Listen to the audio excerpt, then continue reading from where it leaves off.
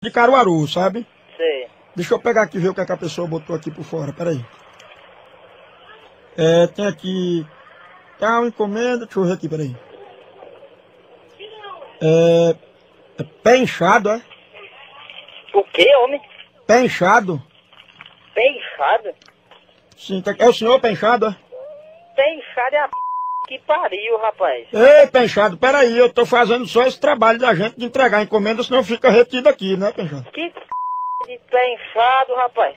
Ei, Penchado, peraí, a gente tá apenas fazendo esse trabalho aqui de tentar saber qual é o endereço completo do senhor para mandar essa encomenda. O senhor, o senhor tá complicando, viu? Homem, complicando o c... seu filho de rabo. Ei, Penchado! Ei, Penchado! Penchado o que é, seu p... Rapaz. Eu tenho nada a ver não, a pessoa nós tivemos que, que violar aqui só porque vem dizendo aqui que o senhor bebe, não sei o que, eu não tenho nada a ver isso não, Penchado, peraí. Porra de bebe, bebe é o c... da sua mãe, seu filho Ei, da... ei, ei, Penchado, peraí, viu? Ei, bebe é o c... da sua mãe, cabra safado. Ei, Penchado! Alô? Alô? Alô? Me caiu aqui a ligação. É Tá ligação o Fabrício. quê, seu... Senhor, Escute, me escute, o senhor... O senhor... Porra de escudo, vá tomar no... Ei, o...